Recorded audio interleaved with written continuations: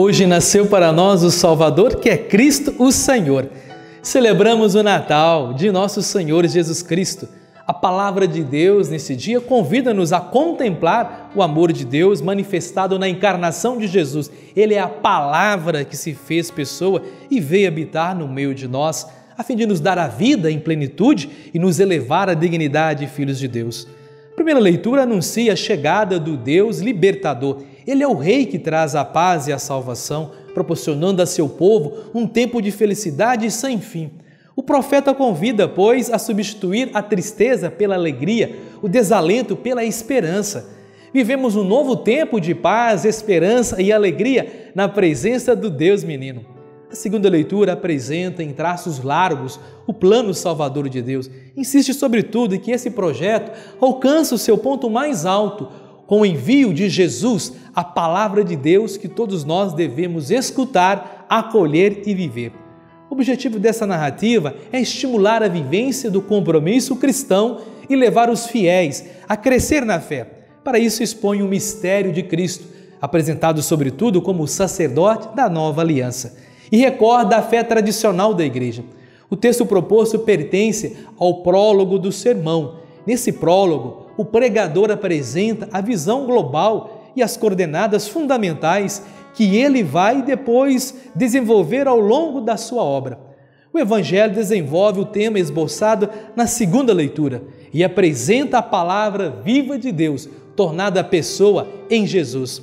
Sugere que a missão do Filho, palavra, é completar a criação primeira, eliminando tudo aquilo que se opõe à vida e criando condições para que o ser humano se torne uma nova pessoa, uma pessoa cheia de vida plena, uma pessoa que vive uma relação filial com Deus. João está descrevendo um novo começo. Se o livro do Gênesis registra a primeira criação, o primeiro versículo do Evangelho de João descreve a nova criação. Em ambas as ocasiões, o agente da obra criadora é o próprio Verbo ou a palavra de Deus. Palavra e luz são duas formas de falar da mesma realidade a saber que Deus entrou na história humana para reconduzi-la à plenitude. A palavra, o Verbo, se fez carne. Na mentalidade hebraica, a palavra é o meio através do qual alguém se revela ou expressa seus pensamentos e vontade. No Antigo Testamento, o termo carne certamente não tem conotação pejorativa, não é antítese de Deus, porém representa tudo que é transitório, mortal e imperfeito e à primeira vista incompatível com Deus, como nos narra em Isaías 40, versículo 6. Conforme o evangelista João, a melhor forma pela qual Deus se expressou foi na existência humana de Jesus. Nele, o que Deus é e o que ele espera da humanidade foram revelados. Jesus é o Verbo, o ser de Deus, narrado em uma vida humana.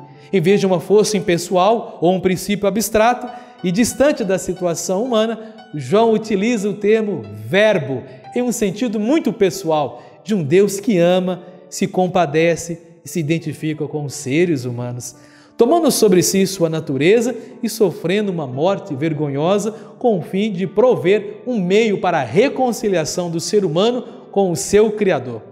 A luz veio ao mundo. O Antigo Testamento se refere a Deus como a fonte da luz e da vida em várias passagens.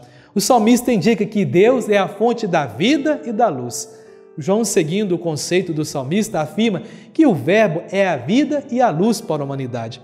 O termo mundo, nesse contexto, significa o mundo dos homens em seus assuntos, o qual concretamente está submetido ao pecado, às trevas. A função da luz é basicamente combater ou vencer a obscuridade das trevas. É um termo metafórico, trevas, que no quarto evangelho se refere a tudo que se opõe à mensagem de Jesus é a obscuridade moral e a espiritual. Por isso, o tema da primeira parte do quarto evangelho é a fé, e seu contrário é a incredulidade, como resultado da influência das trevas. A totalidade da missão de Jesus foi uma espécie de conflito entre a luz e as trevas, culminando no Getsemane e na cruz. Por isso, o verbo vencer cabe bem neste contexto. A luz brilha nas trevas e as trevas não tinham poder para detê-la, muito menos para vencê-la. Caros irmãos e irmãs, celebrar o nascimento de Jesus é, em primeiro lugar, contemplar o amor de Deus, que é luz, que nunca abandonou os homens à sua sorte. Por isso, rompeu as distâncias. encontrou forma de dialogar com os homens e mulheres e enviou o próprio Filho para conduzir os homens e as mulheres ao encontro da vida definitiva, da luz da salvação plena. No dia de Natal, nunca será demais insistir nisso. O Deus em que acreditamos é o Deus do amor, da relação, que continua a nascer no mundo, a apostar em nós, quer dialogar conosco, que não desiste de propor a todos os seres humanos um caminho para chegar à felicidade plena. Portanto, Jesus Cristo é a palavra viva e definitiva de Deus, que revela aos homens e às mulheres de todos os tempos o verdadeiro caminho para chegar à salvação. Ele é a luz que vem iluminar a nossa vida. Celebrar seu nascimento é acolher essa palavra viva de Deus. Escutar essa palavra é acolher o projeto que Jesus veio apresentar e fazer dele a nossa referência, o critério fundamental que orienta as nossas atitudes e as nossas opções. A palavra viva de Deus é de fato a nossa referência? O que ele diz, orienta e condiciona as minhas atitudes, os meus valores, as minhas tomadas de posições? Os valores do Evangelho são os meus valores? Veja no Evangelho de Jesus a palavra viva de Deus, a palavra plena e definitiva através da qual Deus me diz como chegar à salvação, à vida definitiva. Pense, reflita. Caros irmãos, em Cristo, acolher palavra é deixar que Jesus nos transforme, nos dê a vida plena, a fim de nos tornarmos verdadeiramente filhos de Deus. Enfim, celebremos esse Natal com fé, esperança e vivemos dias melhores no amor. Desejamos que este Natal, a luz de Cristo ilumine seu caminho. O ano novo é o renascimento da esperança.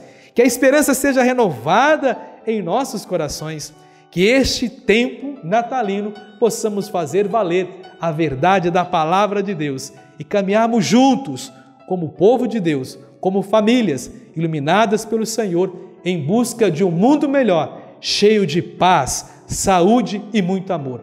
Que a luz do Deus menino resplandeça em nossas vidas e o fulgor dos nossos corações, unidos, intensifique a manifestação de um novo tempo, repleto de conquistas, alegrias e vitórias. Deixe-se iluminar por Jesus. Convido a todos a compartilhar essa família com seus amigos e amigas nas redes sociais. Vamos juntos evangelizar. Inscreva-se nas redes sociais do Instituto Menino São Judas Tadeu. Comente, compartilhe. Sejamos homens e mulheres do bem, comprometidos com o Evangelho, comprometidos com a palavra de Jesus. E que Deus nos abençoe sempre. Pai, Filho e Espírito Santo. Amém.